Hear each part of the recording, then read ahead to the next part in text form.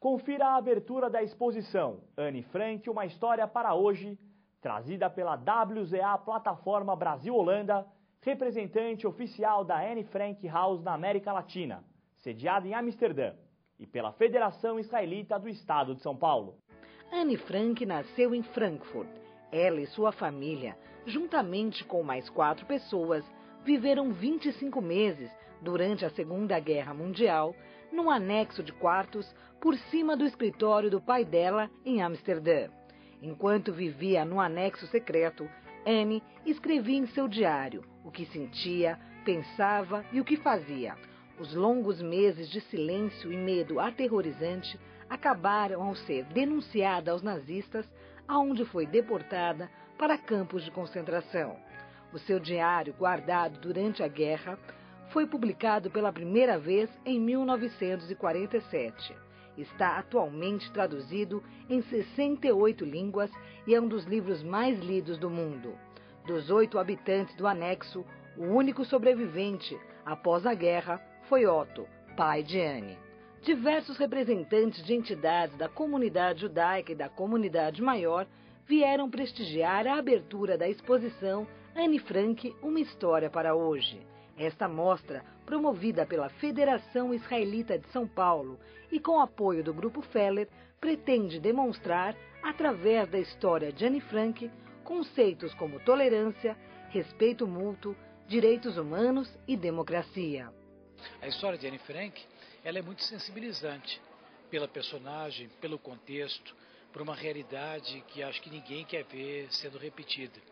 E por ter toda uma nuance de ser uma criança, isso tem uma capacidade de convocação importante. As pessoas querem ver, querem entender, querem provavelmente encontrar aqui razões para aprofundar o conhecimento de algo muito mais amplo, que foram as atrocidades da Segunda Guerra Mundial.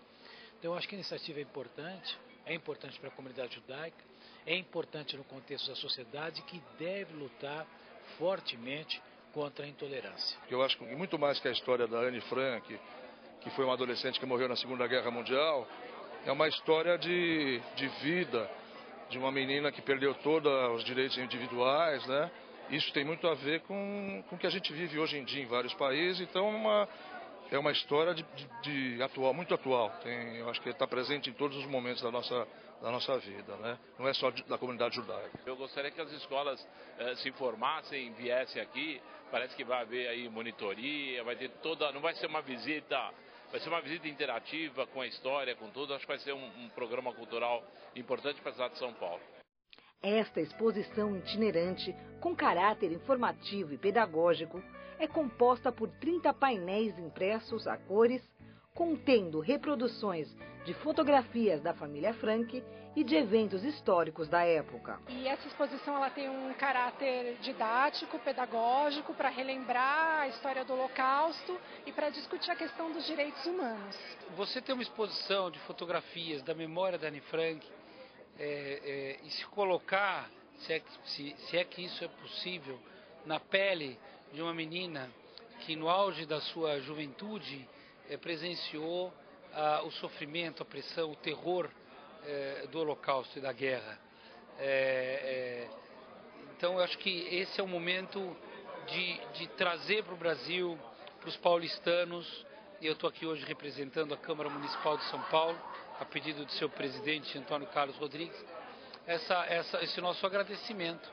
A história da vida de Anne Frank é o fio condutor de toda a exposição e mostra de que maneira as pessoas perseguidas foram afetadas pelas decisões políticas e pela ação de indivíduos.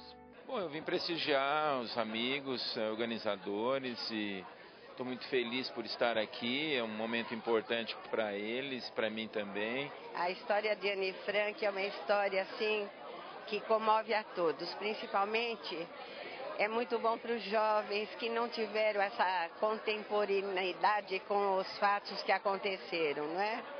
é? A nossa geração já viveu tudo isso, mas os jovens precisam recriar essa experiência. A exposição da Anne Frank é uma exposição oficial vinda pela Casa da Anne Frank da Holanda para o Brasil e nós fomos procurados a federação para darmos esse apoio institucional a essa exposição que vai atender não só as escolas judaicas, como as escolas não judaicas também. É fundamental esse apoio e eu acho que quanto mais iniciativas como essa corroboram a, a nosso trabalho no sentido de tentar desmistificar o que foi o Holocausto e mostrar à população brasileira o que realmente aconteceu. Para o governo holandês, é, é, essa exposição é, é, muito importante. Não? Por isso, é, sempre é, tentamos de apoiar quando podemos, não, não só é, no Brasil, também em outros países. Eu acho linda essa iniciativa da Holanda de reconhecer o erro que foi feito lá, quando perseguiram aquela família. Mas eu acho que é o momento certo de trazer isso para o Brasil. Nesta exposição, os visitantes são convidados a pensar sobre as semelhanças e as diferenças entre aqueles eventos do passado e acontecimentos de nosso mundo atual. É muito interessante, todos os quadros são bem esclarecedores, e os depoimentos. Eu li o Diário de Anne Frank quando eu era menina. Eu quero que os meus netos leiam, mas aí tá bem assim, tem momentos, tá muito bonita essa exposição. Ah, eu aprendi que ela era uma menina que ficou na guerra, aí ela tinha que ficar num quartinho presa. E aí ela ficou escrevendo diário. Eu achei muito interessante, porque é uma história sensacional. Eu acho que ela não devia ter ficado presa. Acho que nem devia ter acontecido isso. A exposição Anne Frank, uma história para hoje, fica na cidade de São Paulo até o dia 2 de maio, das 9 da manhã às 9 da noite, no Hotel Feller, Avenida Paulista, na rua São Carlos do Pinhal, número 200, Bela Vista.